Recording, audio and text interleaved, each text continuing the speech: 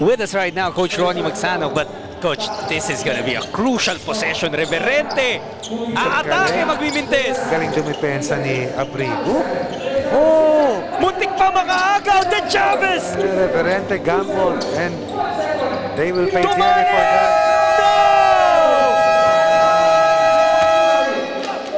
Game winner coming from De Chavez of a defensive breakdown by Don Reverente. And they will pay for that mistake late in the match that could have gone into overtime. The Chavez still all pumped up. A seat in the finals locked in for one of our three guest teams. What a big headway that they have done here in the third leg and a sorry loss for Don Reverente, Terence Tumalip, Matt Salem, and of course, itong si Bulawan.